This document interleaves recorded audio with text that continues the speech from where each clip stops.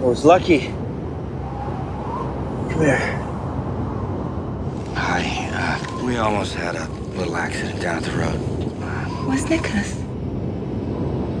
Where's Nicholas?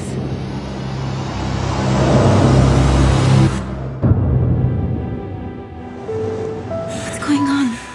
I ran over someone. Why are you here? If there's anything I can do, anything to help, I think I'll start writing again.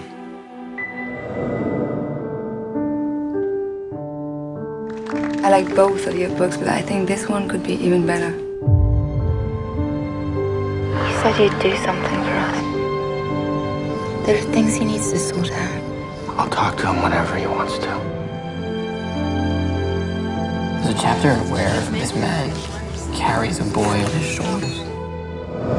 Is that me? Hurt me the way you did. I watched you helping that woman. You were so calm. Pull her up! Is there nothing I can get to you?